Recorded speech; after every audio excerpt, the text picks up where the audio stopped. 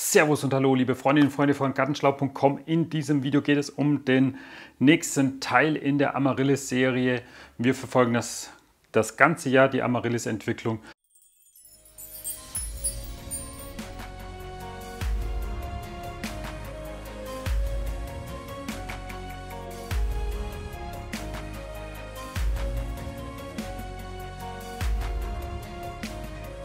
Und zwar seht ihr jetzt die Pflanze, da habe ich jetzt schon den Blütentrieb damals entfernt. Bei dieser Pflanze hatte ich ja den Blütentrieb mit dem Samenstand bestehen lassen.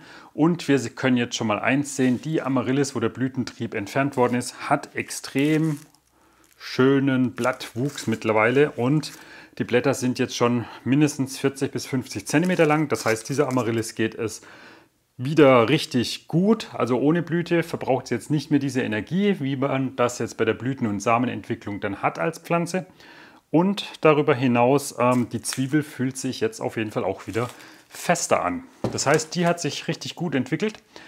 Ähm, die andere hat sich auch richtig gut entwickelt im Sinne von, ähm, dass sie zwar noch keine Blätter ausgebildet hat, aber die Samenstände sind jetzt so weit, dass Samen enthalten sind. Und ich ziehe jetzt hier einfach mal ein bisschen heraus. Ich habe bisher selber noch nicht viel mit Samen zu tun gehabt.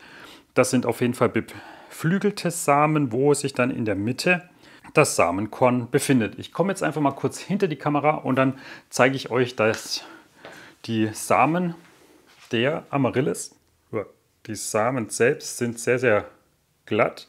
Man sieht auch schon, die fliegen hier runter. Und es sind definitiv Flugsamen und was man eben auch sehen kann in der Mitte dieses Samens, ich hoffe man sieht das. Also hier sehen wir die Amaryllis-Samen. Ich muss schauen, dass ich im Bild, ups, die sind echt, die sind super glitschig. So, hier können wir den Amaryllis-Samen sehen. Er ist schwarz, hier ist, das, hier ist der Kern in der Mitte. Amaryllis sind sehr, ähm, wie soll man sagen, fast anti-Haft beschichtet, weil sie rutschen in der Hand sehr, sehr leicht. Schon bei, der, äh, ja, bei einer geringen Neigung rutschen die schon herunter. Und ähm, ja, das heißt, jetzt kann dann demnächst auf jeden Fall die Aussaat stattfinden. Es sind ja noch sehr, sehr viele Samen vorhanden. Die Wahrscheinlichkeit, dass da jetzt eine andersfarbig blühende Sorte dabei herauskommt, ist relativ gering. Ich hatte ja nur rote Amaryllis. Und dahingehend ähm, werden wir diese Aussaat einfach mal mit diesen Samen machen. Und zum Thema Aussaat kommt auf jeden Fall auch ein Video. Von der Entwicklung her der Pflanzen, ihr seht, ist alles richtig gemacht. Sobald ich die Samen hier abgeerntet habe, die Kapseln sind erst heute aufgeplatzt, ähm, schneide ich die, diesen Blütentrieb ab.